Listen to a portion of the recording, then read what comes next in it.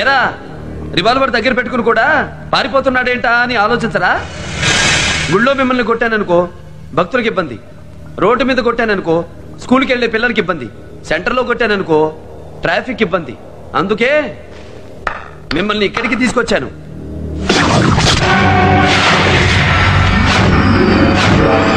ఎలా చూస్తున్నారు? స్వామికి పొడుకో రావాలంటే